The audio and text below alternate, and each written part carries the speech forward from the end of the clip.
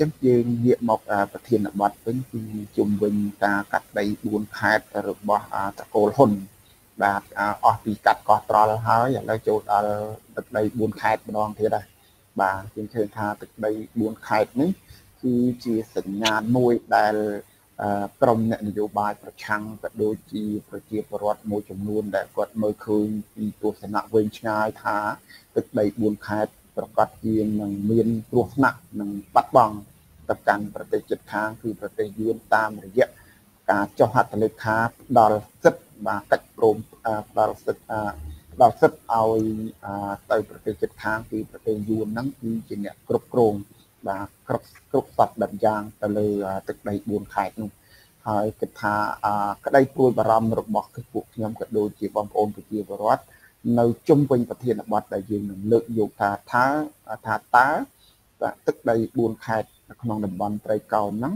អាចនឹងបាត់បង់ដែរឬទេបាទយើងនឹងលើកយកប្រធានបទនេះដើម្បីដាក់ជូនវាគ្មិនយើងដើម្បីធ្វើការបកស្រាយជម្រាបជូនប្រិមិត្តទស្សនិកជនឲ្យបានស្ដាប់ឲ្យបានជ្រាបបាទអញ្ចឹងជុំវិញប្រធានបទនេះបាទខ្ញុំសូមដាក់ជាសំណួរទៅដល់លោកអ៊ំពេញនេះបាទតាមអ្វីដែល តាមប្រធានបទយើងបានកំណត់ទុករួចជាស្រេចនោះបាទអតើទឹកដី4ខេត្តអាចបាត់បង់ដែរឬទេទៅថ្ងៃអនាគតសូមយើងអំជួយបកស្រាយបាទអរគុណច្រើនខ្ញុំបាទកិច្ចលេខទៅគោរពបងប្អូនបងប្អូនក្នុងប្រទេសក្រៅប្រទេសនិងប្រសងជាទីសក្ការៈព្រមទាំងលោកប្អូននឹងមួយពេលនេះដែលយើងបានជួបគ្នានឹងបងប្អូនពលខ្មែរកំពុងតាមដានពេកណាសង្គ្រោះជាតិអាមេរិកនៅពេលនេះ វាជាការពិតគឺយើងត្រូវតែបាត់បង់នៅលើទឹកដីរបស់យើងនៃពេលអនាគតខាងមុខនេះគឺដោយបញ្ជាក់ទៅលើបញ្ហាកើតឡើងដូចសពថ្ងៃគឺប្រជាពលរដ្ឋបាត់សិទ្ធបាត់សិទ្ធនឹងការកាន់កាប់ដី តកតងនឹងបាត់សិទ្ធអានឹងមួយផ្នែកប៉ុន្តែយើងគិតថាតើការបាត់បង់នោះយើងមើលថាយើងបាត់បង់តាមរយៈមកអាចឧទាហរណ៍ជាមួយនឹងគ្រីមៀក្នុងប្រទេសអ៊ុយក្រែនបានទៅទីការប្រៀបធៀបគេហៅថាដំណើរការនៃការបាត់បង់ពីបន្តិចម្ដងបន្តិចម្ដងរហូតដល់យើងបាត់បង់ទាំងស្រុងបាទវាជាការពិតការបាត់បង់របស់យើង គឺវាវាបន្តិចម្ដងបន្តិចម្ដង គ្រាន់តែចុះហត្ថលេខាថ្ងៃទី13យើងមើលសិទ្ធិបរិទ្ធ3ខេត្តអត់មានសិទ្ធិដំណោះស្រាយទៅលើវិបត្តិដីធ្លីរបស់ខ្លួនខេត្តក្រចេះ500គ្រួសារជាងដោយរដ្ឋសភាក្រសួងមហាផ្ទៃក្រសួងដែនដីនគររូបនីយកម្មសំណង់បដិសេធមិនទទួលយកសំណើនៃដំណោះស្រាយឥឡូវនេះខេត្តស្ទឹងត្រែងស្រុកសៀមប៉ាង 300គ្រួសារទៀតដែលប៉ះពាល់ត្រូវកាត់ដីទៅឲ្យក្រុមហ៊ុនយួនអត់មានដំណោះស្រាយគាត់មកសាលាខេត្តហើយសាលាខេត្តគេថារងចាំអឺការដំណោះស្រាយរបស់សហព័ន្ធរបស់ទីទៅវិញចឹងនេះដែលយើងបញ្ជាក់ថាយើងនឹងបាត់រនឥឡូវនេះយើងបាត់សិទ្ធិជាពលរដ្ឋលើទឹកដីកំណើតខ្លួនហើយអនាគតយើងនឹងបាត់បង់ទឹកដីទាំងស្រុងទៅលើ ផែនការសហព័ន្ធអញ្ចឹងសហព័ន្ធតកណាគេចេញច្បាប់មកគឺប្រជាពលរដ្ឋខ្មែរជាកម្មករមិនមែនចិត្តពលរដ្ឋកាន់កាប់ជាម្ចាស់ដីម្ចាស់កសិកម្មសិទ្ធនយោបាយអីទេ គឺយើងត្រូវបាត់ទាំងអស់អញ្ចឹងយើងសប្ថ្ងៃនេះយើងកំពុងបាត់សិទ្ធបាត់សិទ្ធជាពលរដ្ឋដែលទឹកលើទឹកដី4ខេត្តនោះគឺយើងបាត់សិទ្ធជាពលរដ្ឋសិទ្ធជាអ្នកមកស្នាក់នៅ បណ្ដោះអាសន្នឬអ្នកមករស់នៅខុសច្បាប់ទៅវិញសប្ថ្ងៃវាដល់ចំណុចខ្មែរទាំងអស់នោះមករស់នៅខុសច្បាប់នៅលើទឹកដីសហព័ន្ធហ្នឹងព្រោះទឹកដីសហព័ន្ធនេះគេអាចបញ្ជាក់បានថាតើអ្នកណាដែលមានសិទ្ធិកាន់កាប់ដីលំនៅឋានគឺមានតែយួនទេខ្មែរយើងគិតតែជាអ្នកស្នាក់នៅស្នាក់នៅជាផ្ទះកម្មករ ស្នាក់នៅជាផ្ទះពលករតែប៉ុណ្ណឹងទេអនាគតដូចគ្នានៅឡាវឡាវគឺបាត់សិទ្ធិជាម្ចាស់ពលរដ្ឋមុនដំបូងនៅក្នុងឆ្នាំ73ឡាវបាត់សិទ្ធិជាពលរដ្ឋសិទ្ធិជាម្ចាស់ប្រទេសសប្តាហ៍ថ្ងៃនេះឡាវបាត់សិទ្ធជាម្ចាស់ប្រទេសអញ្ចឹងខ្មែរគឺដូចគ្នាហើយធ្ងន់ធ្ងរជាងកម្ពុជាក្រោមទៀតកម្ពុជាក្រោមមានសិទ្ធតាំងលំនៅឋាន មានសិទ្ធអឺតវ៉ាប្រឆាំងនឹងអាញាធរយួនបាន60%តែឥឡូវនេះមណ្ឌលគិរីរតនគិរីក៏ចេះស្ទឹងត្រែងអត់មានសិទ្ធជាពលរដ្ឋទៀតទេ គឺសិទ្ធរស់នៅលើដីសហព័ន្ធកាលណាគេចេញឯកសារបញ្ជាក់ថាយើងនេះជាជាពលរដ្ឋទទួលស្គាល់អញ្ចឹងមានសិទ្ធកាន់កាប់ដី អញ្ចឹងគេមិនអោយមានសិទ្ធពលរដ្ឋបាទឲ្យសិទ្ធទៅជាសហព័ន្ធចាយលុយសហព័ន្ធឯកសារក៏បោះសហព័ន្ធអញ្ចឹងច្បាប់សហព័ន្ធគេនឹងចេញឆាប់ឆាប់នេះដែលជាផែនការពីយើងមើលពីឡាវក្នុងឆ្នាំ73មកឆ្នាំអឺ90គឺឡាវអត់មានសិទ្ធជាពលរដ្ឋទោះបីជាការរស់នៅ ជាពលរដ្ឋឡាវប៉ុន្តែមនុស្សនោះគឺរបស់យួនអញ្ចឹងយើងគឺដូចគ្នារស់នៅលើទឹកដី4ខេត្តនោះខ្មែរ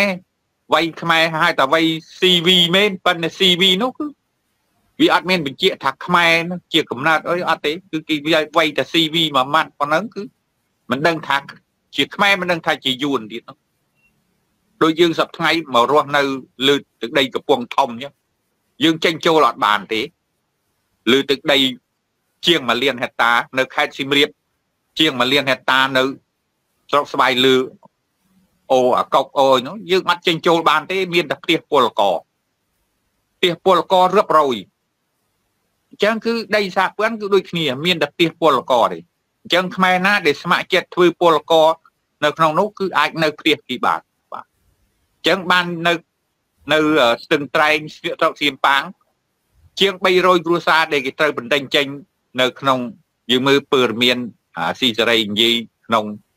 អឺថ្ងៃទី21 23នេះគឺយើងបានដឹងស្រាប់ហើយថាត្រូវបណ្ដេញខ្មែរចេញជាង300គ្រួសារមករស់នៅខុសច្បាប់លើស្រុកសៀមប៉ាងមូលអញ្ចឹងដូចខេត្តកញ្ចេះដែរខេត្តកញ្ចេះ570គ្រួសារជាងទៅរស់នៅលើដីខុសច្បាប់ ក្នុងឃុំកោះខ្ញែនអាហ្នឹងគឺវាមានដូចគ្នាហើយនៅមណ្ឌលគិរីបាទជាង300គ្រួសារដែលនៅឃុំពូលុកដែលជាប្រជាពលរដ្ឋមកតាំងលំនៅខុសច្បាប់ទៅវិញដល់សួរគាត់ទៅមានដីកប់សពមានដីស្រ័យផលមានដីចង្ការវិលជុំដែលជាលក្ខណៈជនជាតិដើមរបស់គាត់ ឥឡូវគាត់អត់មានសិទ្ធិទេ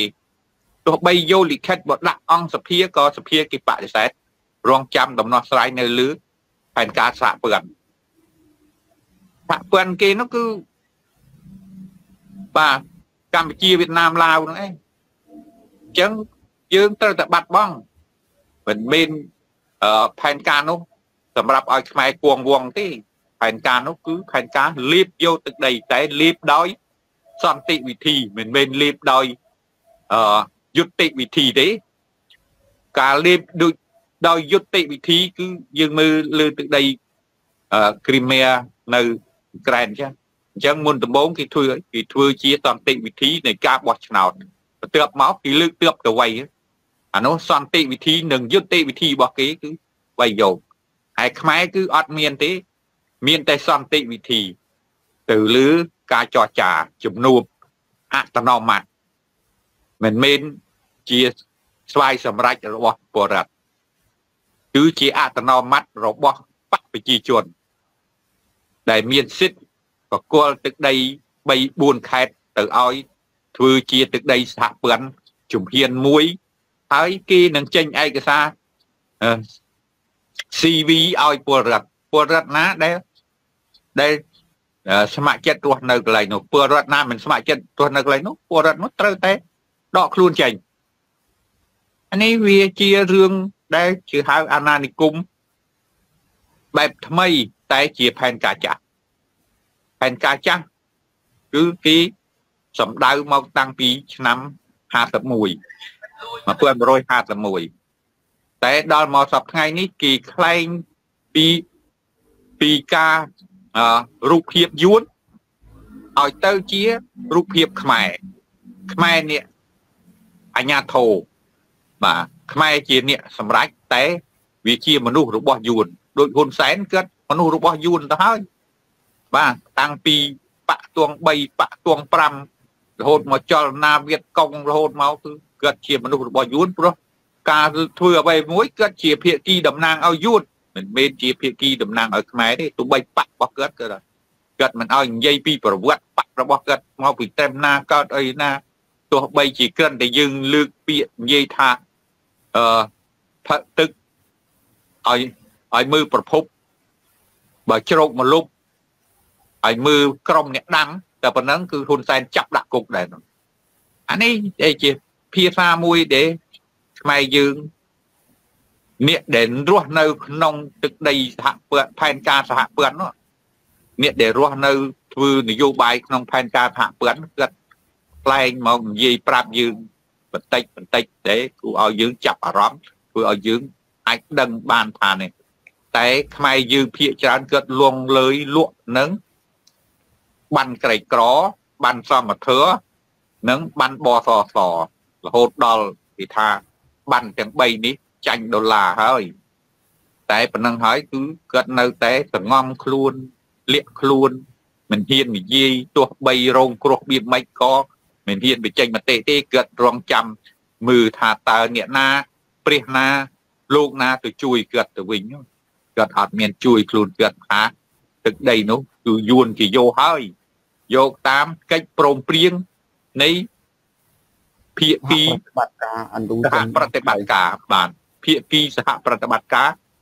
កម្ពុជាវៀតណាមឡាវបាទអញ្ចឹងឡាវគេយកពីឆ្នាំ73មកគេថាគេអនុវត្តតែ10ឆ្នាំគឺបាត់សញ្ជាតិឡាវបាទនៅតានៅតាឡាវឡាវយួនមិនមែនឡាវខ្មែរទេឯយើងឥឡូវនេះនៅក្នុងរដ្ឋាភិបាលរបស់យើងក៏វាជាភាគីរបស់យួនទៅហើយកាន់អំណាចសប្តាហ៍នេះមិនបានយើងបញ្ជាក់ថាយួនយើងមើលថា ដូចខ្ញុំអញ្ចឹងគ្រោះថ្នាក់ក្មេងជិះឡានមកបុកអត់ជិះម៉ូតូមកបុកឡានខ្ញុំហើយខ្ញុំនេះខៀលរោរឿងឲ្យវាទៅចឹងតែបលិសចរាចរណ៍សប្ថ្ងៃអត់ឲ្យខ្ញុំនេះរួចខ្លួនទេខ្ញុំជាជនរងគ្រោះនេះថាខ្ញុំនេះរួមគំនិតជាមួយក្មេងដោះលែងក្មេងឲ្យឲ្យរួចខ្លួនហើយហៅខ្ញុំទៅប៉ុកទោះតែច្បាប់នោះខ្ញុំជាជនរងគ្រោះ ហើយខ្ញុំនឹងឆ្លោះទៅខ្ញុំវាខាតដំណើរអញ្ចឹងកពឹតកពៀវខ្ញុំសុចិត្តខាតបងចុះពីបញ្ហាក្មេងស្ទាវវាជិះមកបុកទ្វារឡានប៉ុណ្ណឹងខ្ញុំវាបាទខ្ញុំអាចមានលទ្ធភាពធ្វើបានតែប៉ូលីសចរាចរណ៍នៅតែហៅខ្ញុំទៅទៅផាកទៀតបាទដោយសារតែខ្ញុំនេះមិនព្រមធ្វើកំណត់ហេតុបណ្ដឹងដើម្បីគេចាប់ក្មេងនោះ ហើយគ្រោះថ្នាក់ចរាចរណ៍វាជាអចេតនាចឹងបានថាច្បាប់សពថ្ងៃវាអត់មានទេមានតែអំណាចអំណាចយួននិយមរងមិនបានខ្ញុំចោទទេព្រោះរឿងនេះផ្ទាល់ខ្លួនរបស់ខ្ញុំដែលខ្ញុំនេះបើកបរឲ្យក្មេងមកប៉ះឲ្យខ្ញុំទៅចិត្តណាលើកលែងនោះកុំឲ្យបបាក់រឿងវែងឆ្ងាយនឹមខាតដំណើរតែប៉ុណ្ណឹងក៏គេហៅខ្ញុំចូលប៉ុស្តិ៍អស់រយៈពេល2ថ្ងៃដែរនៅអញ្ចឹង បងលុយឲ្យគេទៀតបាទអញ្ចឹងបានថាសប្ថ្ងៃនេះវាអត់មាន ច្បាប់ទេ មានតែអំណាចរបស់ក្រមតកូលហ៊ុនដែលរួមគណិតជាមួយសមាគមយួននិយាយចំទៅបាទព្រោះភ្នាក់ងារសប្ថ្ងៃគឺយួនកាន់ការទូទាំងប្រទេសទោះបីជារដ្ឋសភាក៏យួនកាន់ការមិនមែន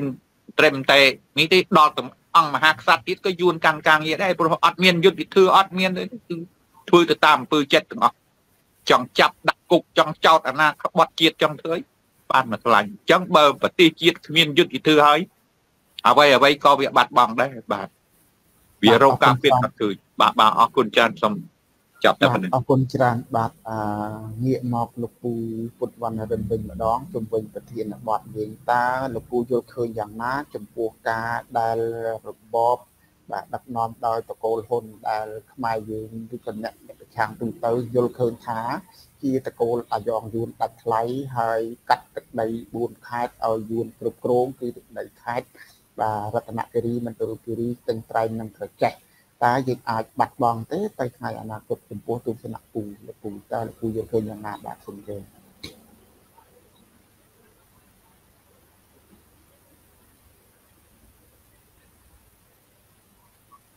បាត់សម្លេងផងពូបាត់សំទោសបាត់អអរគុណអាលោកលីហើយអរគុណប៉ាថ្មីហើយជំរាបសួរប៉ាថ្មីខ្ញុំពុតវណ្ណរិនទីទីក្រុងម៉ុងរ៉េអាលខេត្តកែបិចប្រទេសកាណាដាទៅសំណួរនេះគឺថា តាមមតិភិកច្រើន ទាំងខ្ញុំក៏យល់ស្របដែរគឺថាកម្ពុជានឹងបាត់ដីខេត្តទាំង4នេះខេត្តអ្វីបានថាបាត់ព្រោះខ្ញុំយើងយកចំណុចខ្លះខ្លះដែលមកវិភាគថាតើកម្ពុជាយើងនឹងអាចបាត់បង់ឬទេណាទី1គឺថាភូមិសាស្ត្រភូមិសាស្ត្រប្រវត្តិសាស្ត្រខ្ញុំនិយាយប្រវត្តិសាស្ត្រហ្នឹង អាប្រវត្តិសាស្ត្រយើងឃើញហើយថាមិនមែនតែមានប្រទេសក្រៅពីកម្ពុជាទេដែលគេប្រើរបៀបចឹងគឺថាប្រទេសកម្ពុជាបានបាត់បង់ទឹកដីកម្ពុជាក្រោមក្នុងចំនួនជ័យជាថាទី2បានចាក់បានធ្វើរបៀបគ្នាដែរគឺថារដ្ឋាភិបាលដោយសារតែស្ដេចជ័យជាថាមានប្រពន្ធយួនហើយស្ដេចយួនបាន សុំដីកម្ពុជានៅកម្ពុជាក្រោមនេះឲ្យឲ្យឲ្យឲ្យទាហានយួនឬឲ្យជួបពលរដ្ឋយួនរស់នៅដោយសារតែចំនួននោះប្រទេសខ្មែរទីក្រុងនៅប្រទេសខ្មែរនៅឆ្ងាយទៅហើយអត់មានអត់មានការគ្រប់គ្រងគ្រួបួននៅក្នុងកម្ពុជាក្រោមនេះមកហើយគេឲ្យជនជាតិគេមកនៅបន្តិចម្ដងបន្តិចម្ដង កាលណាជនជាតិគេមកនៅបន្តិចម្ដងបន្តិចម្ដងពេលនោះហើយនៅពេលដែលបារាំងសម្រាប់ថាកាត់ដីកម្ពុជាក្រោមទៅឲ្យយន្តដោយសារតែប្រជាជនយួនមានច្រើនជាងប្រជាជនកម្ពុជានៅកម្ពុជាក្រោមបាទកម្ពុជាក្រោមមកហើយដូចជាឧទាហរណ៍នេះក៏មិនខុសគ្នាពីថាប្រមាណ20 30ឆ្នាំមុននៅទីក្រុងក្រេមីយ៉ានៅប្រទេសអ៊ុក្រែនហ្នឹងបានក៏ដូចថានៅពេលដែលចំនួនសង្គមសង្គមកុម្មុយនីស គឺថារុស្ស៊ីគឺថាសហភាពសូវៀតហ្នឹងហើយនឹងអ៊ុយក្រែននោះអ៊ុយក្រែនហ្នឹងគឺថាចូលជាមួយនឹងសម្ព័ន្ធរុស្ស៊ីដោយសារតែកុម្មុយនីសដូចគ្នាហ្នឹងហើយរុស្ស៊ីបាននាំជនជាតិគេមករស់នៅក្នុងប្រទេសអ៊ុយក្រែនហ្នឹងច្រើនច្រើនទៅច្រើនទៅនៅពេលដែលគេបោះឆ្នោតទៅគឺថាជនជាតិរុស្ស៊ីមានច្រើនរហូតដល់62% 62%ហើយគេសម្រាប់ថាដែនដីនេះជាដីរបស់គេដោយសារតែប្រជាជនគេរស់នៅច្រើនដូចគ្នានៅ នៅកម្ពុជាក្រោមហើយដូចគ្នានឹងនឹងនឹងនឹងនឹងខេត្ត4នេះដែរយើងឃើញថា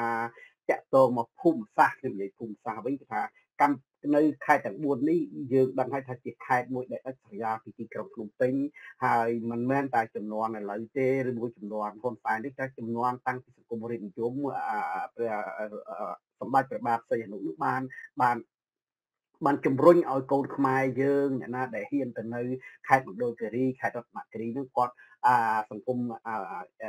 រដ្ឋាភិបាលនឹងចេញឲ្យឲ្យគូឲ្យដីឲ្យអីឲ្យទៅនៅក្នុងដើម្បីការពារទោដែរដើម្បីការពារទោដែរហើយយើងសំណាងដែរទីយូរយារណាស់មកហើយដោយសារតែមានជនជាតិដើមនៅខេត្តមណ្ឌលគិរីខេត្តរតនគិរីនេះគឺថាជនជាតិដើមនេះក៏បានការពារការពារបរណភាពទឹកដីយើងដែរក៏ប៉ុន្តែដោយសារតែ លោកហ៊ុនសែនជាអាយ៉ងរបស់វៀតណាមលោកហ៊ុនសែនបានតែងតាំងមានអំណាចដោយសារវៀតណាមហើយលោកហ៊ុនសែនហ្នឹងគឺថាប្រគល់ក្នុងរយៈពេលជាងមិនមែនតែថ្មីថ្មីរឿង CLV ហ្នឹងរឿងប្រៃកោននេះទេគឺថាតាំងពី10ឆ្នាំមុនម្ល៉េះគឺថាអឺហ៊ុនសែននឹងបានបានប្រគល់ដីយ៉ាង រាប់ពាន់រាប់ម៉ឺនហិកតានៅជាប់ទល់ដែនកម្ពុជាវៀតណាមទៅឲ្យអ្នកវិនិយោគវៀតណាមអ្នកវិនិយោគវៀតណាមលហើយហ្នឹងគឺថាទល់ដែននៅខេត្តរតនគិរីមណ្ឌលគិរីជាមួយនឹងវៀតណាមតាមពិតសិនតែអត់ប្រហែលជាអត់នឹងមានទល់ដែនផងដោយសារតែក្រុមហ៊ុនវៀតណាមគេបានកស៊ូគេធ្វើចំការធ្វើអីទៅកម្មករវៀតណាមចូលមកនៅស្រេចចិត្តមកហើយអារឿងហ្នឹងវាចាប់ផ្ដើមតាំងពីយូរណាស់មកហើយក៏ប៉ុន្តែ អាគេគេលេបទឹកដីគេចង់បានដីប្រទេសយើងគេមិនយកធ្វើសង្គ្រាមដូចសម័យពីដើមទេគេថាគេធ្វើតាមរបៀបអានយោបាយតាមរបៀបសេដ្ឋកិច្ចតាមសេដ្ឋកិច្ចសេដ្ឋកិច្ចហ្នឹងយ៉ាងម៉េចបានដូចថាគេបង្កើតអាតំបន់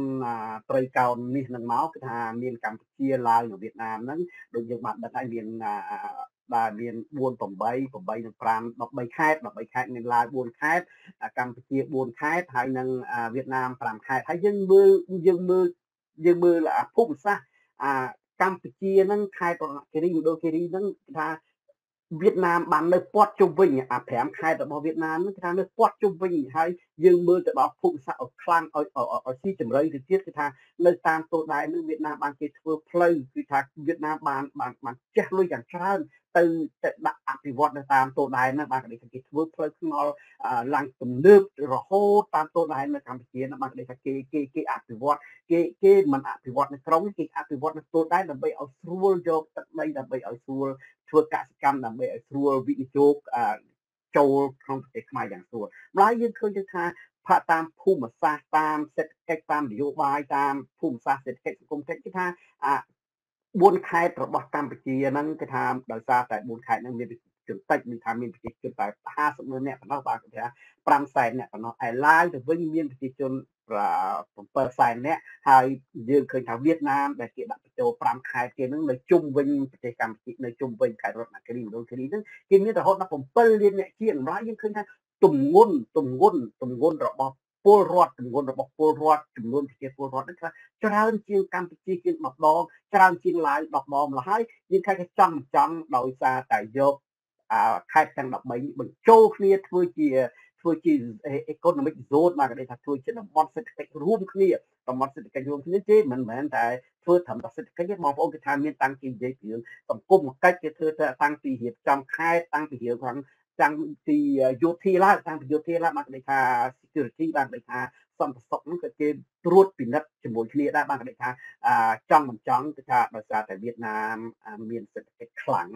វៀតណាមមានពលរដ្ឋច្រើនវៀតណាមចេះបច្ចេកទេសច្រើនថាចង់មិនចង់គេថាយើងនៅក្រោមគេឡាយនៅក្រោមគេកម្ពុជានៅក្រៅគេហើយបន្តិចម្ដងបន្តិចម្ដងគេបានបញ្ចូលជនជាតិគេមកមកធ្វើការនៅតំបន់ហ្នឹងហើយយ៉ាងច្រើនដោយសារតែតំបន់ហ្នឹងអត់មានអត់មានទូដែរទេដល់ពេលបើសិនណាអា ការចរចា CLV នៅតំបន់ត្រីកោណមាននឹងនឹងចប់ជាស្ថាពរគឺថាតំបន់13ខែហ្នឹងអត់13ខែហ្នឹងអត់មានទូដែនម្ល៉េះគេចេញចូលរបស់ស្រេចចិត្តគេចេញចូលស្រេចចិត្តហើយពួកយើងយើងអត់មាន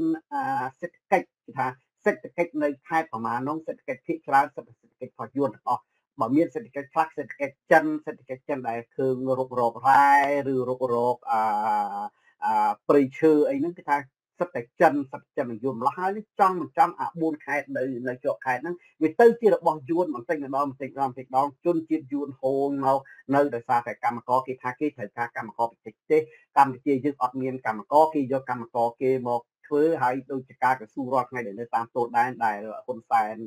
សម្បទានសេដ្ឋកិច្ច99ឆ្នាំហ្នឹងថាតាមតាម តាមលោកកែមលីតាំងពីគាត់នៅរស់គាត់បាននិយាយរឿងនឹងច្រើនណាស់ពីរឿងតំបន់អាតំបន់ត្រីកោណមាសឬមួយតំបន់ដែលដែលលោកហ៊ុនសែនធ្វើសម្ពាធសេដ្ឋកិច្ចទៅឲ្យអ្នកវិនិយោគវៀតណាមនឹងថារឿងនឹងរឿងរឿងវាមិនដែលគេបកគលកន្លែដីជាប់ទល់ដែនទៅឲ្យទៅឲ្យជនជាតិមួយដែលនៅជាប់ខ្លួនឯងហើយអត់មានទល់ដែនអត់មានច្បាស់លាស់អញ្ចឹងទេហើយ ខ្ញុំមើលទៅខ្ញុំមិនមែនគេថាចិត្តនេះចិត្តគេថាវៀតណាមគេចង់បានដែនដីនឹងយូរទៅហើយដោយសារដែនដីសម្បូរសម្បត្តិធម្មជាតិសម្បូរទៅដោយទឹក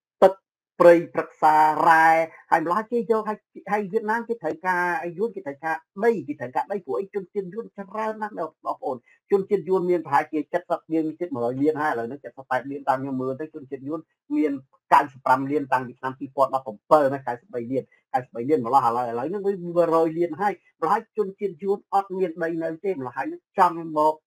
យកដីឡាវឬមួយដីកម្ពុជាហ្នឹងធ្វើជាដីរបស់ដួលខ្លួនដូចជាចំនួនដើមអញ្ចឹងចំនួនដើមក្នុងប្រវត្តិសាស្ត្រអញ្ចឹងម្ល៉េះហើយទាំងទាំងទាំងភូមិសាស្ត្រទាំងទាំងទាំងប្រវត្តិសាស្ត្រទាំងសេដ្ឋកិច្ចទាំងនយោបាយគឺថាប្រទេសកម្ពុជាយើងនឹង បាត់បង់បន្តិចម្ដងបន្តិចម្ដងរឿងហ្នឹងដោយដោយដោយស្វ័យប្រវត្តិដោយយើងមិនដឹងខ្លួនហើយជួបជាកូនខ្មែរខ្លះខ្លះដែលមិនដឹងដែលនឹកស្មានថាមើលទៅវាមិនអីទេមិនអីរឿងហ្នឹងជារឿងសំខាន់ណាបងប្អូនត្រូវត្រូវត្រូវជួយឲ្យច្បាស់រឿងហ្នឹងហើយមិនតែខ្ញុំថាសំខាន់ពីព្រោះអីរឿងហ្នឹងប្រវត្តិសាស្ត្រយើងបានប្រាប់យើងមកហើយគឺថាអាវៀតណាមគេយកកម្ពុជាក្រៅរបៀបម៉េចប្រទេសផ្សេងដូចជារុស្ស៊ីយកក្រែនយ៉ាយ៉ាងម៉េចហើយមានប្រទេសច្រើនច្រើនទៀត គេធ្វើរបៀបហ្នឹងក៏ប៉ុន្តែគ្រាន់ថាចំនួននៅ2023 2024គេធ្វើរបៀបមិនដូចពីដើមមិនមិនមិនមិនមិនមកវាយបើហ៊ានតែវៀតណាមវាយយកប្រទេសកម្ពុជាយក3 4ខេត្តនេះគឺថាអង្គការសហជីវជាតិនឹងនឹងឬមួយសហរដ្ឋអាមេរិកឬប្រទេសមហាអំណាចធំៗនឹងដាក់ទណ្ឌកម្មសេដ្ឋកិច្ចវៀតណាមវៀតណាមអត់ចង់បានចឹងទេវៀតណាមឥឡូវហ្នឹងគាត់ត្រូវការត្រូវការប្រទេសលោកសេរីដើម្បីទិញ ទិញផលិតផលពីពីពីពីប្រទេសវៀតណាមហើយវៀតណាមហ្នឹងមិនមែនលក់តែផលិតផលឧស្សាហកម្មទេបងប្អូនសូម្បីតែឧផលិតផលកសិកម្មលក់មកដល់នៅប្រទេសកាណាដានេះដឹកកប៉ាល់មកទាំងផ្លែមៀនទាំងផ្លែសាម៉ាវទាំងផ្លែស្អីស្អីលក់ថោកមែនតើទាំងត្រីសាច់ទាំងសាច់ស្អីស្អីខ្លះលក់មកដល់ប្រទេសកាណាដាលក់តាំងពីជីនវងតាំងពីស្អំតាំងពីស្ដៅគឺថាមកសិទ្ធិវៀតណាមទាំងអស់ម្ល៉េះហើយវៀតណាមត្រូវការសេដ្ឋកិច្ចម្ល៉េះគេមិនវាយយកប្រទេស ឡាវឬមួយប្រទេសកម្ពុជាដោយស្រស់ត្រង់ត្រង់ទេគេថាគេមានរបៀបគេធ្វើហើយធ្វើរបៀបហ្នឹងគេថារបៀបត្រីកោរបៀបតំបន់ត្រីកោនេះហ្នឹងហើយយើងធ្វើជាមួយគេយើងចាញ់ព្រៀបគេដោយសារយើងទី1យើងអត់មានថវិកាយើងអត់មានដើមទុនយើងអត់មានបច្ចេកទេសណាហើយយើងនៅកម្ពុជាយើងខ្ញុំនិយាយតាមភូមិសាស្ត្រមិញហ្នឹងនិយាយពីរឿងថានៅតាមតូដែនកម្ពុជាយើងនឹងអត់មាននេះមានសិទ្ធិព្រៃមានសិទ្ធិព្រៃឬមួយគេកាប់ឈើកាប់អីលក់ទៅឲ្យវៀតណាមអត់មានផ្លូវថ្នល់អត់មានអី ដល់គេខាងវៀតណាមគេធ្វើផ្លូវថ្នល់រហូតតាមតូដែននឹងរហូតផ្លូវថ្នល់គេហើយផ្លូវថ្នល់គេល្អមានទឹកប្រព័ន្ធទឹកធ្វើស្រែចម្ការបានគ្រប់គ្រាន់ម្ល៉េះហើយយើងចង់មិនចង់យើងយើងបើសិនណាយើងចុះហត្ថលេខាតំបន់អាត្រីកោណនេះជាមួយគេហ្នឹងដូចខ្ញុំនិយាយហ្នឹងវាវាអត់មានតូដែនវាអត់មាននេះមកហើយវាទៅទីចាញ់ព្រៀបគេ បន្តិចម្ដងបន្តិចម្ដងនឹងទៅคล้ายទៅជាคล้ายទៅជាទឹកដីរបស់វៀតណាមដោយស្វ័យប្រវត្តិដោយសារតែជនជាតិគេមករស់នៅក្នុងប្រទេសយើងច្រើនពីច្រើនជាងពួកអីយើងដឹងហើយខ្ញុំប្រាប់យ៉ាងគេប្រាប់កន្លែងហ្នឹងតែបាស់មែនតើគេថាជនជាតិខ្មែរមានតែ50ម៉ឺននាក់ទេបានគេថាថា5សែននាក់ទេជនជាតិវៀតណាមមានដល់7លាននាក់គេថាលើសជាង10ដងឬ4 3 4 10 13 14ដងដោយជនជាតិវៀតណាមហ្នឹងគេមានវិនិយោគគេមានបច្ចេកទេសគេអាចធ្វើអីបានជាងគេហើយយើងយើងត្រូវបាត់បង់បន្តិចម្ដងថានិយាយទៅប្រទេសកម្ពុជាសោកស្ដាយណាស់ដែលដែលដែលប្រគល់ហ៊ុនដោយដែលរដ្ឋាភិបាលតពូជនេះនៅតែអត់គិតគូរដល់ជីវិតឬមួយសេដ្ឋកិច្ចពលរដ្ឋក្រីក្រតាមតូដែនឬមួយ ទោះជាជនជាតិដើមក៏ដោយគាត់យកដីពីជនជាតិដើមយកទៅឲ្យអ្នកវិនិយោគចិនវិនិយោគជួនទៅដាស់ធ្វើឲ្យជនជាតិដើមក៏រត់ចោលស្រុកដែរថាជនជាតិដើមដែលរស់នៅតាមតំបន់ ប្រូបដែរហ្នឹងក៏ក៏រត់ចោលស្រុកម្ល៉េះអត់ពីមុនមកបានជនជាតិដើមហ្នឹងការពារទល់ដែនយើងការពារទឹកដីយើងគាត់មិនឲ្យយួនចូលមកស្ដេចស្ដាស់គាត់មកព្រួយដីហ្នឹងដែលជាដីរុកអរិយនេតារបស់គាត់ឬម៉ែឪគាត់ធ្នោខ្មោចរបស់គាត់ជាដូនតាគាត់គាត់ការពារទឹកដីនេះក៏ប៉ុន្តែឥឡូវហ្នឹងហ៊ុនសែនគាត់យកអាហ្នឹងទៅឲ្យសម្បត្តិសេដ្ឋកិច្ចទៀតម្ល៉េះអស់ពួកគាត់ពួកគាត់វេទនារត់ចោលស្រុកទៅធ្វើការនៅប្រទេសថៃប្រទេសអីចឹងធ្វើឲ្យអា អត់មានមនុស្សការពារនៅកន្លែងនឹងទៀតដល់មកហើយហ្នឹងចាខ្ញុំថារឿងហ្នឹងជារឿងមួយដែលដែលកូនខ្មែរគួរណាស់តែចារណាឡើងវិញហើយខ្ញុំនិយាយចំណុចមួយទៀតទៅជាយោធាយោធាក្នុងការការការកិច្ចកិច្ចសន្យាក្នុងក្នុងក្នុងការព្រមព្រៀងគ្នានឹងគេមានមានបុករួមទៅកាយយោធាដែរបាទគេថាតំបន់ ត្រីកោណនេះហ្នឹងគឺថាមានយោធាពិសេសរបស់គេគេថាប្រទេស3ហ្នឹងប្រទេស3ហ្នឹងម្ល៉េះហើយចង់មិនចង់គេថាវៀតណាមគេមានកម្លាំងទ័ពខ្លាំងជាងកម្ពុជាជាងឡាវគេនឹងយកយោធាគេយកមកប្រើហើយខ្មែរយើងនឹងនឹងអាចបញ្ចេញលុយថវិកាខ្លួនដើម្បីឲ្យពួកវៀតណាមការពារតំបន់នោះទៀតម្ល៉េះហើយអឺនិយាយទៅមែនតើទៅ គឺថារឿងបាត់ទឹក3 4ខេត្តនៅតំបន់ត្រីកោណមាសនេះឆ្លើយឲ្យឲ្យឲ្យចំទៅឲ្យស្រួលទៅគឺថាអាយើងប្រកាសជាបាត់បាត់ជាស្វ័យប្រវត្តិបាត់បង់ខេត្តទាំង4នេះជាស្វ័យប្រវត្តិដោយមិនដឹងខ្លួនដោយមិនដឹងខ្លួនដោយសារតែអាកម្ពុជាហ្នឹងអាភាកច្រើនមិនមិនយល់មិនតាមដានហើយរបបហ៊ុនសែនមិនឲ្យមានពលរដ្ឋណាបញ្ចេញមតិ ឲ្យតែនិយាយពីរឿងតូដែនយួនឲ្យតែនិយាយពីរឿងវៀតណាមគេចាត់គេទៅអស់ម្ល៉េះហើយហ្នឹងគាត់ធ្វើឲ្យអាអាសិទ្ធិបញ្ចេញមតិហ្នឹងគៀបសង្កត់ខ្លាំងអត់មានមនុស្សនិយាយ ភាគច្រើនដែលវីដេអូដែលយើងឃើញតាមបានតាម Facebook សិតតែពួកអ្នកនៅក្រៅប្រទេសអ្នកក្នុងប្រទេសហ្នឹងគាត់ខ្លះមិនដឹងហ៊ាននឹងមើលផងមិនហ៊ានចុច like ផងម្ល៉េះតែគេយើងទៅបន្តិចម្ដងបន្តិចម្ដងកម្ពុជានឹងនឹងបាត់បង់ទឹកដីដ៏ធំបើប្រៀបធៀបទៅដល់ទឹកដីធំមែនតើមកបបួលខេត្តស្ទឹងត្រែងកចេះរបស់គិរីមណ្ឌលគិរីជាខេត្តមួយដែលសម្បូរទៅដោយព្រៃឈើជាខេត្តមួយដែលគិរីកចេះធម្មជាតិណា បាទអញ្ជើញអញ្ជើញចាក់លោកលោកលោកលោកកែមលៃបាទល្អវីដេអូហ្នឹងបាទបាទអញ្ជើញបាទអត់លឺអត់លឺបាទអឺប្រិមិត្តទស្សនិកជនខ្ញុំទៅតែរកឃើញរូបភាពវីដេអូដែលកាលពីលោកបណ្ឌិតកែមលីគាត់នៅមានជីវិតហើយគាត់បាននិយាយពីរឿងទឹកដី3 4ខេត្តនៅកន្ទុយនៀក បាទដែលជាប់នឹងប្រទេសវៀតណាមហ្នឹងហើយក៏គាត់នឹងនិយាយអ្វីខ្លះនោះខ្ញុំនឹងចាក់វីដេអូនៅសម្ដីមាសរបស់លោកបណ្ឌិតកែមលីកាលពីគាត់នៅសម្ភាសជាមួយវិទ្យុអាស៊ីសេរីបាទសូមស្ដាប់ដូចតទៅបាទខេត្តរតនគិរីមណ្ឌលគិរីក៏ចេះមួយផ្នែកធំមានវាសនាមិនខុសពីកម្ពុជាក្រោមទេថ្ងៃណាមួយប្រសិនបើឆ្លងផុតពីការចូលសមាគមចាក់ការចូលសហគមន៍អាស៊ានឆ្នាំ2015ពីព្រោះអី ដីសម្បត្តិសេដ្ឋកិច្ចណាដែលបាន ទៅលើដៃក្រុមហ៊ុនវៀតណាមភាគច្រើនខ្មែរយើងធ្វើអត់បាន ធ្វើកម្មករអត់បានអញ្ចឹងត្រូវយកកម្មករវៀតណាមមកយកកម្មករវៀតណាមមកសង់ផ្ទះនៅនឹងអញ្ចឹងចំណុចកន្លែងដែលលោកបណ្ឌិតកែមលីនិយាយតាក់ទងទៅនឹងខ្មែរធ្វើអត់បាន គឺមានន័យថាគេនឹងយកពលករវៀតណាមមកធ្វើការងារនៅក្នុងដីសម្បទានសេដ្ឋកិច្ចអាហ្នឹងគាត់និយាយត្រឹមតែដីសម្បទានសេដ្ឋកិច្ចចំនួនពេលនោះទេណា ប៉ុន្តែឥឡូវនេះយើងមានដីសម្បទានសេដ្ឋកិច្ចទេគឺដីអភិវឌ្ឍរួមគ្នាគេហៅថាគេហៅថាតំបន់ត្រីកោណរួមគ្នារវាង3ប្រទេសហ្នឹងគឺរួមគ្នាសមាហរណកម្មបាទសេដ្ឋកិច្ចរួមគ្នារវាង3ប្រទេសអានោះក៏នោះគឺចំណត់ដីសម្បទានសង្គមកិច្ចបាទឥឡូវសូមបន្តស្ដាប់តទៀតនឹងយកកម្មករវៀតណាមមករស់នៅនឹងយកកម្មករវៀតណាមមកធ្វើការនៅចការកស៊ូនឹងតែម្ដង ហើយម្ដុំកចេះខ្ញុំជីពីឆ្លងទៅកចេះខ្ញុំជួបប្រជាពលរដ្ឋនៅម្ដុំនឹងថាហេតុអីបានអ្នកឯងមិនបោះឆ្នោតគណៈបព្វជិជនបោះឆ្នោតគណៈបព្វជិជនខ្លាចនោះអាដីសម្បត្តិសេដ្ឋកិច្ចហ្នឹងវៀតណាមយកបាត់អាកន្លែងហ្នឹងបើសិនជាគណៈបព្វជិជនមិនចាប់អារម្មណ៍ទេគឺ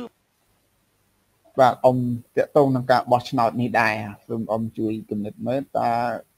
ប្រជាពលរដ្ឋទឹកដី4ខេត្តហ្នឹងអាចបាត់បង់សិទ្ធិក្នុងការបោះឆ្នោតដែរទេបើសិនជាការគ្រប់គ្រងរបស់យួនហ្នឹង បាទ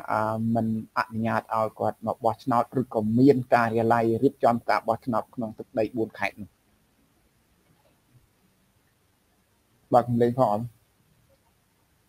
ខ្ញុំសូមបញ្ជាក់ជូនទៅលើសំណួររបស់គុំខ្មែរគ្មានសិទ្ធិទេគ្មានសិទ្ធិទៅបោះឆ្នោតទេ ពីព្រោះជាទឹកដីសហព័ន្ធបាទទឹកដីសហព័ន្ធគឺដាច់ដោយឡែកអត់មានពាក្យពន្ធនឹងរដ្ឋាភិបាល ទឹកដីនោះគឺជាទឹកដីសហព័ន្ធនឹងឌូចិនតែគេដាក់ថាទឹកដីសេដ្ឋកិច្ចតំបន់សេដ្ឋកិច្ចពិសេសតំបន់សេដ្ឋកិច្ចពិសេសយើងមើលចាប់ពីស្រុកឆ្លងដូចលោកចាំឡៃញីទៅដល់ឃុំពីធ្នូគឺជាក្រុមចការកស៊ូយួនទាំងអស់